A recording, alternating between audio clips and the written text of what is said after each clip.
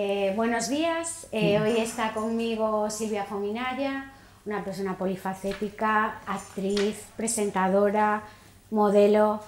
Buenos días, muchas gracias. Buenos por estar días, Ana, encantada de estar contigo.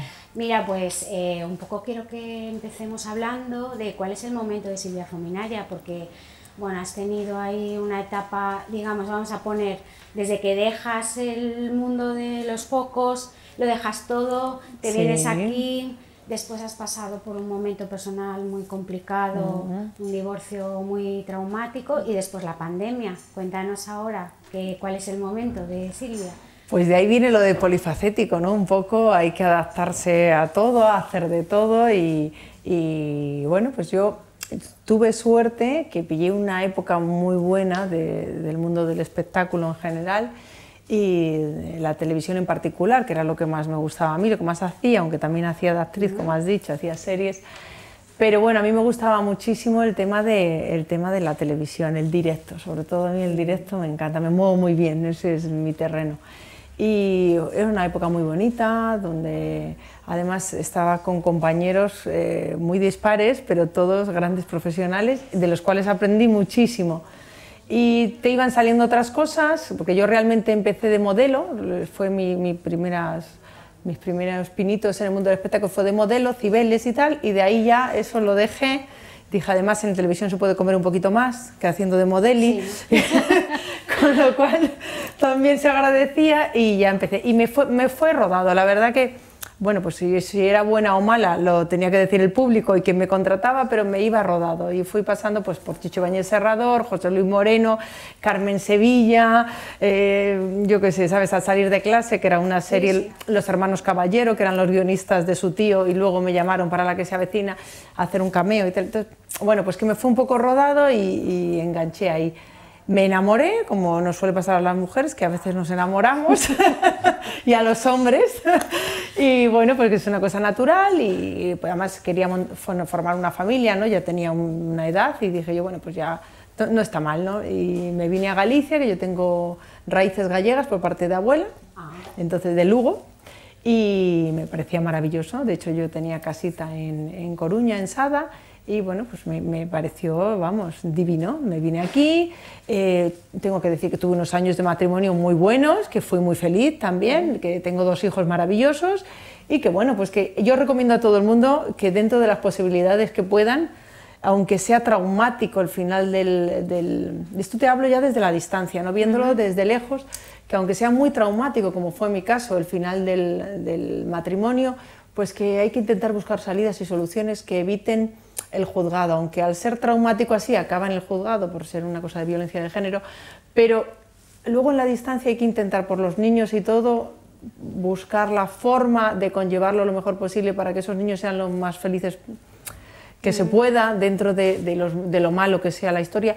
Y luego no dejar nunca tu trabajo porque yo, claro, me enrolé en estar aquí, en estar con la familia, los niños, que de verdad era una etapa bonita, pero luego cuando eso cae, se destruye, tú tienes que seguir manteniendo a esos niños, tienes que seguir con tu vida y, tienes una profesión que la has dejado de ejercer, da igual si eres periodista, da igual si eres mm. albañil, si eres mecánico. Eh, Mm, lo que sea, siempre cuando dejas de hacerlo, pues has perdido tu lugar. Pero es que en el mundo del espectáculo eso se magnifica, claro. Es que está centralizado un poco en Madrid, ¿no? Es un poco está centralizado en Madrid y está centralizado en tener noticia, en ser noticia. Y si no eres noticia de nada, no y claro, también ser noticia por ser tampoco es cuestión de, hombre, se puede, ¿no? Pero no es cuestión de, de, andar. Entonces, bueno, pues un poco fue lo que a mí me pasó. Eh, no me arrepiento de nada de lo que he hecho en mi vida, pero bueno, que yo creo que visto desde la distancia creo que es mejor por todo pues intentar eh, llevarse lo mejor posible y arreglar las cosas aunque sean graves no por así decirlo. Pero bueno el juzgado de Vigo tengo que decir que es lentísimo por Dios por favor. O sea es lo más lento de, de, toda España. Bueno de hecho así sale muchas veces en prensa no que vosotros también lo habéis, habéis puesto alguna vez algún artículo que necesitarán más personal no lo sé no hay grandes profesionales pero necesitarán un poquito más de ayuda porque es muy lento, es de los más lentos. Y bueno, pues me he adaptado aquí muy bien, hago radio aquí, ahora vamos a, empezar a hacer el mes que viene un programa que es a nivel nacional, con un clásico mítico de la música eh, que estaba antes en los 40 principales, que mm, eh, Fernandisco. Y con Fernandisco, pues bueno, voy a hacer ahí una sección de tipo cotilleo, de hablar de, Ah, de gente de la tele, que bueno, a mí ya me va bien porque a muchos los conozco. Hay una nueva hornada que simplemente, bueno, es poner la tele y verlos, o sea, tampoco te pones al día, ¿no? Pero tipo Monegal, ¿no? Un poco así.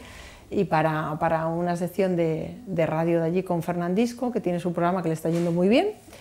Y, y luego aquí, pues mira, soy imagen de, pues de peluquería Yonguera, soy imagen de, de la clínica de A Clinic, de- o sea, siempre vas haciendo... Trabajo no me falta, la verdad que siempre, pues quieras que no, voy haciendo cosas y, trabajo no me falta, pero bueno, que te tienes que adaptar a estar aquí porque mis hijos, claro, ahora mismo como para llevártelos a Madrid, Hombre, claro. tienen sus amigos, su vida, sus historias y quieren, quieren ya quedarse aquí. Mira, has comentado, has, has citado nombres muy conocidos Sí. y claro, me muero por preguntarte, has trabajado para José Luis Moreno, hace Sí. Mm. muy poquito lo detuvieron, no sé si te sorprendió esa detención. Me sorprendió la detención en sí, igual que en su día también me sorprendió cuando le habían dado una paliza, ¿no? Y que le habían entrado a robar en ¿Tú casa tenías y idea tal. de que pudiera ser un personaje así? No, no tenía, o sea, no tenía ningún tipo de idea. Yo he ido a su casa, como muchísima gente que ha trabajado con él, y conocemos que, claro, la casa, una casa que llama la atención siempre tiene más posibilidad de que te entren que otra, a pesar de todas las medidas de seguridad que tengan, ¿no? Pero de ahí a que él esté vinculado en ningún tipo de lo que le dicen, de mafias, de no sé qué, yo no tenía conocimiento para nada de eso. Y además eh, le he defendido y le sigo defendiendo. Digo que habrá que demostrarlo, ¿no? Yo particularmente me pagó todo lo que hice con él, me enseñó muchísimo, eh, me cogió en, en un momento que yo no era actriz y fue el primero que me dio la oportunidad de actuar en los vaudevilles que tenía dentro del programa de, de los sábados por la noche, Noche de Fiesta, y fue el que me dio la oportunidad. De ahí me llamaron para salir de clase, o sea, si él no me da esa oportunidad, no me hubiera llamado a salir de clase.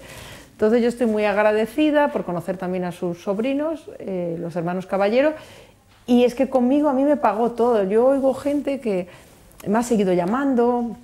eh, te hice- abrió puertas, Claro, ¿no? me abrió muchas puertas y luego eh, para, la, para fin de año también hace poco me llamó, estando aquí en Vigo, que no te llama nadie, que estás apartada, que estás en otra historia, y él se acuerda de ti te dice, oye, ¿quieres venir con Poti a presentar esto? ¿Quieres? Y es de agradecer. Ahora, eh, está judicializado por lo que diga la justicia, o sea, yo no puedo mm, eh, decir blanco o negro, es decir, yo para mí particularmente creo que no, o sea, me parece, no sé, aparte es una persona que ha ganado tanto dinero ya en sí solo con la televisión y por su propio talento, que me parecería un poco de género tonto buscarse la vida de otra manera. Pero oye, cada uno, ¿sabes? Ya. Entonces, no sé lo que dirá la justicia, pero yo particularmente conmigo ha sido buen jefe, me ha enseñado, me ha, me abierto puertas, como me has comentado tú, y, y- y para mí se ha portado bien. Ahora, si mañana dicen que ha hecho algo, pues oye, ahí están las cárceles y la justicia. Yo no... Pero me llamó, me llamó la atención, me sorprendió, hablé con Alberto Caballero y bueno, pues el sobrino estaba tan, sorprendida como, tan sorprendido como yo, porque son cosas Mm. que no te esperas, lógicamente, y salpica a toda la familia. Eso también. Y mira, eh, también estuviste presentando el telecupón con, Con Carmen Sevilla. con Carmen Eso Sevilla. era de ¿Cómo era, por divertido. favor? Era tan Cuéntanos. divertida, te contaba unas historias de Hollywood, de, de los actores de allí, y decía, ay Silvia, qué bien me lo pasaba. Decía, lo peor era que me daban allí unos polvos, como decía, hay unos polvos allí, que tenían un botecillo que te lo movían, dice, y era el biomarán, tú eres el biomarán, era de allí, de- entonces dice, todo el mundo con el catering poniéndose ciego, y, y dice, y nosotros las actrices nos ponían allí y nos daban el biomanán y no podíamos comer y no podíamos comer y eso tal. Ella siempre decía, hay que ir en tacones, ¿eh? Tú vayas a la prueba que vayas y donde vayas, siempre... Y me decía, bueno, estoy pensando que tú ya eres muy alta. Eso Eso, era yo, decía, eso era yo. Tú casi que no te pongas tanto, no te pongas tanto. O sea, Y pero era cosas- complicado porque Era- ya era muy natural. De repente todo. salía con. No, no, pero unas cosas y decía, niña, ven, ven, ven, ven. Y yo, ¿qué, Carmen? Y decía, mira cómo tengo aquí el esparadrapo este, a que tengo, ponlo, pues pégalo más para acá. ven, ven". De todo, dame un bujito de Coca-Cola, échale un poquillo de algo, hija, échale una... co-". Y entonces te reías con ella.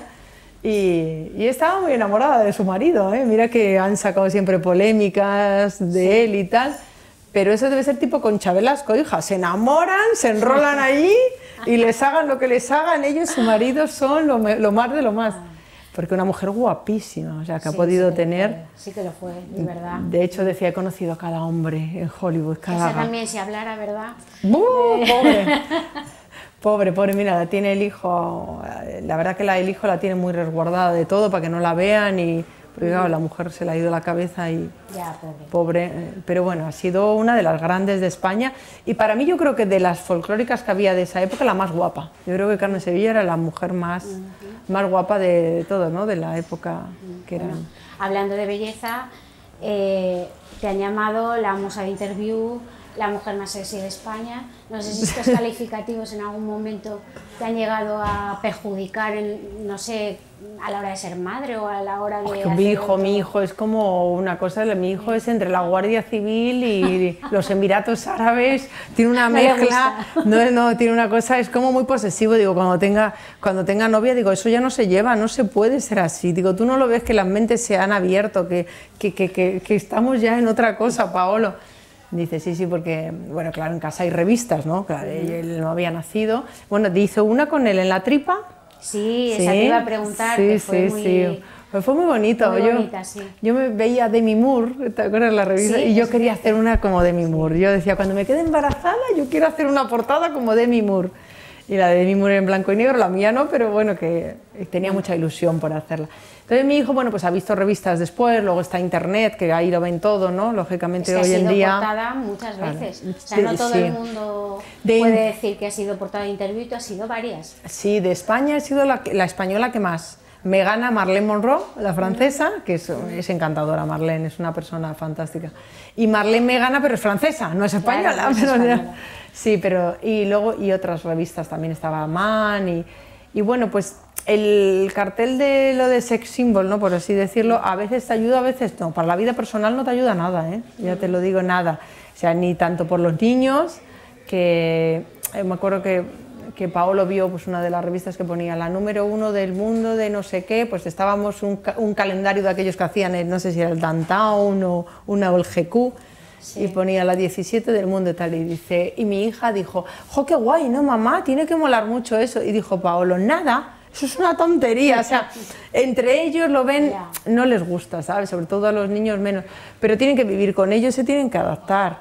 Y personalmente no te ayuda, porque yo, qué sé, siempre está la típica suegra que, no, que prefiere que su hijo esté con, con alguien que no haya hecho eso, o la típica persona que es un poquito más de forma de pensar. Yo, por ejemplo, yo soy catoliquísima, pero bueno, no quita una cosa con otra, ¿no? Pero hay gente que es mucho más remilgada más y, y eso no les gusta. Entonces, sí que hay veces que te condiciona, pero otras veces te abre puertas. Entonces, yo, mira, me llamaban, lo hacía, yo creo que, que quedas estupenda y, bueno, a quien le guste que mire y al que no que no mire. Es que tampoco puedes, si la vida te basas en lo que van a pensar de ti, en lo que van a hablar de ti, al final van a hablar siempre, Ana. Y mira, pues como decía Dalí, ¿no? Aunque sea mal, Que pero que hablen de ti, que al final es lo que... Y bueno, pues yo, yo estoy orgullosa. Yo de hecho quedé muy bien con el grupo Interview, me llevaron a la sexta cuando cerraron la revista, fui con Gordillo a la entrevista de allí y me llevaron como la musa de ellos y, y bueno, pues yo estoy orgullosa. Pero sí que es cierto que hay veces que no te creas que te ayuda tanto, ¿eh? Ya. Pero bueno, bien. Y mira, ya que hablamos de las portadas de interview, una cosa que tenemos mucha curiosidad, por lo menos aquí lo hemos hablado varias Sí. veces. Eh, eres la primera española que se atrevió a poner la bandera de España en Gibraltar. En Gibraltar. Por favor, cuéntanos cómo fue ese momento, Pero- que debió de ser el tema de las fotos. Tuvimos que salir corriendo, Por ¿eh? eso, Tuvimos que salir corriendo porque nos perseguían en Gibraltar. Bueno, fue muy divertido porque no fui con el grupo de interview de moda, fui con el grupo de investigación. Entonces era, eran todos corresponsales de guerra. Y nos lo pasamos fenomenal allí tres días porque yo estaba todo el rato contar mis historias. Y entonces eran, uno había encontrado al padre del de la Rosa, en no sé dónde, eh, bueno, era por un vaso de ADN, bueno, nos contaban allí unas historias y era el fotógrafo, no eran de moda ni nada, éramos todo. Entonces, claro, entramos eh, con el coche, cruzamos allí en Gibraltar. Íbamos vestidos de una manera, luego nos vestimos de, De otra. otra. luego para salir de otra porque nos perseguían y sacar la bandera, claro, iban a por ti los, los bobbies, porque allí al final son bobbies, aunque hablan andaluz, pero Sí, sí, claro. y, y nada, sacamos allí porque había sido que habían hecho la pista del, la pista del aeropuerto en aguas españolas. Entonces estábamos reivindicando que por qué encima de que no nos devuelven el peñón, nos hacen una pista en nuestras aguas. Y nos subimos allí, nos pusimos la bandera, además, claro, te ponías en topless y con la bandera por aquí era como, ¿sabes? Y la gente miraba, pero claro, enseguida va uno otro y empezaron a venir a por nosotros, nos querían detener. Y entonces estos, como eran todos, estaban acostumbrados los de interview, de investigación, a todo esto y más, no pasa nada, tú tranquila, ponte esta camiseta, ponte lo otro, ahora pasamos por aquí, ahora sacamos, el coche lo habíamos dejado afuera para entrar, bueno, o sea, toda una historia, lo pasamos francamente bien. Y allí los monos que este, están siempre te, te, levantan el vestido, yo creo que están adiestrados, ¿eh? yo creo que ya lo hacen así en plan coña y lo, lo, lo, conseguimos hacer. Luego pusimos también la bandera en una escalinata enorme, extendida, completa, y hicimos las fotos como Dios manda y lo sacamos. En, sí, luego, ya verá que con la bandera española han posado varias. Ha posado Thyssen, eh, Obregón, Ana Obregón. Pero yo creo que en Gibraltar. En Gibraltar, jugándosela yo, ¿eh? jugándosela Hubiera, hubiera estoy a acabar detenida por un Bobby. Oye, tiene hasta eso aquel, ¿eh? ¿No? Porque, hombre, es un. Eso sí que habría sido portada. Eso, sí que hubiéramos sido portada, pero estuvo muy bien porque fue, ya te digo, con el grupo de, investigación y para mí, claro, es muy novedoso. Aquí tenéis todo tipo de... Ya. Pero yo no, yo estoy acostumbrada a trabajar en moda, entonces fue muy divertido. Era gente muy interesante. Bueno, y cuéntame ahora eh, qué proyectos futuros tienes, eh, cómo está tu corazón en estos momentos. Nada, nada, el corazón lo tengo, como digo yo, todavía lo tengo curando, porque hija, ha sido tan largo eso o sea que sí, hombre, por supuesto que, que siempre tienes algún tipo de, de, compañía, ¿no? Porque si no, menudo aburrimiento, ¿no? Ya sean amistades, eh, pero, pero de emparejarme y tal, como que... De momento. De momento no, hija. Yo eso le he cogido un miedo atroz, digo, no sé, porque y además mi hijo me dice, es que mamá, imagínate que te sale mal otra vez. Y digo, pues sí, la verdad que tienes razón. digo, pero eso que acabo de estar toda la vida sola tampoco. Pero bueno, sí que, sí que, me, sí, que, sí que, que lo paso bien y sí que me, divierto. Tengo muchísimos amigos, eh, bueno, en Madrid por supuesto, cuando voy allí y aquí en Vigo también. Tengo que decir que he hecho grandes amistades en los años que llevo a Vigo, gente muy buena, gente que ha estado en las buenas y en las malas y se ha posicionado y eso es de agradecer. Y ahora pues el proyecto que tengo es, eh, es eso, el tema del, que te comentaba. del programa de, radio. Del programa de radio, de lo de la peluquería aquí en Vigo y mm, una clínica también, que va a ser también del tema de la peluquería. Vamos a hacer una clínica que viene el mismo doctor de Orense, también aquí para tenerlo más cerquita. Y bueno, pues bueno, yo te hago esta pregunta otra vez porque quería saber realmente si te vamos a volver a ver en televisión. Ya, ya, es lo que, que ha, habido, ha habido en, este, en, esta temporada que has tenido momentos en los que Mira, me hicieron hace habías poco, pensado en volver. Me hicieron hace poco un, un, casting para una serie que tenía que hacer de Norma Duval. Sí, para cuando, cuando Norma Duval tenía, eh, tenía unos 30 y tantos años y tal. Y hicimos el casting hace poco. Bueno, ahí, andamos. Pues la verdad, aire, la verdad que me seleccionaron de mucha gente por el tema ese. Entonces, yo de verdad, cuando me llaman para algún casting o algo, yo bajo a Madrid, lo hago y, deseando que me cojan, ¿sabes?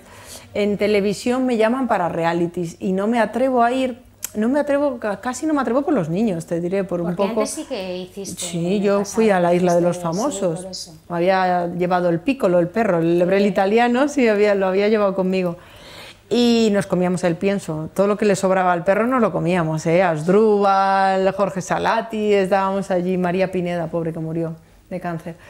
Y bueno, pues... Pero ahora, claro, estás en otra etapa, eres madre, tienes dos niños. Claro. Es difícil compatibilizar eso. Es, eh, es que no sé cómo se lo van a tomar. Muchas veces pienso, te metes ahí, estás ahí dos meses y no sabes cómo se lo van a tomar, lo que se puede hablar, un poco, te lo piensas mucho todo, pero reality sí que me ofrecen mucho, hoy está la orden del día y, pasa que te lo piensas y tal, pero yo volver a televisión, vamos, volvería mañana mismo.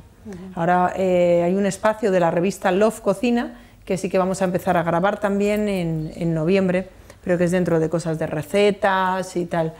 Y, pero ojalá, yo ojalá, yo estoy, vamos, yo ya te digo, cuando me llaman para un casting siempre lo hago, ojalá me cogieran para, para hacer un... Y sé que cuando vas a Madrid ya te dicen que tienes acento gallego. Sí, sí, sí. En cambio aquí me dicen que tengo acento madrileño, entonces ya no sé porque me, depende de dónde me dicen una cosa u otra. Bueno, aquí estás a gusto. Yo estoy muy a gusto en Vigo, en, Galicia en general, pero los gallegos de verdad eh, son una gente que cuando te cogen son amigos de verdad, ¿eh? no te sueltan, es, es cierto, ¿eh? y te lo puedo asegurar que tú lo sabes bien, que además has visto mil veces en el juzgado, que se posicionan y además son ¿sabes? Por la línea, ¿eh? Y a mí, a mí eso me gusta, este, me han acogido muy bien. Y, te digo que no me, no me, falta trabajo, te van llamando de un sitio o de otro y, y realmente pues vas, vas trabajando. Eh, ¿Qué problema tengo yo? Que mira que llevo años aquí y que no he aprendido el gallego. Lo entiendo perfectamente. ¿eh? Tú me pones, yo podéis hablar en gallego toda la comida, toda la cena, que yo sigo, pero yo contesto y digo nada, tres tonterías. Y dije yo, qué pena, porque para trabajar en la gallega podía haber pues o una serie, claro. Mira que me llaman para entrevistas en la gallega y hubo una serie que se hizo hace poco que era así eh, con un barco de viaje y tal, la sacarán dentro de nada. Y yo, claro, él me hablaba en gallego, yo contestaba en castellano. Nada, es todo valentía, así, arrojo, sí, yo creo que yo creo que me da vergüenza. Fíjate lo que te digo, que yo que piensas que lo vas a hablar mal y te callas, porque yo evidentemente ya sé, si lo leo, si lo escucho y si puedo contestar, debería de saber hablarlo, pero es como no sé qué pasa, ¿sabes? No sé qué pasa, pero bueno, que, que, estoy muy a gusto aquí, que, que, se vive muy bien, que Madrid me encanta, que lo echo de menos, echo de menos sobre todo mi familia, tengo una sobrina allí, dos hermanas y, y mis padres y los echo de menos, pero bueno, que me, habéis acogido muy bien en, en Vigo, la verdad que sí. Pues nada, pues muchísimas gracias por estar con nosotros, que te vaya muy bien en todo lo que tienes ahora al futuro y nada, pues eso, muchas gracias. Silvia. Nada, gracias a vosotros y ya sabéis, por lo que queráis. Gracias.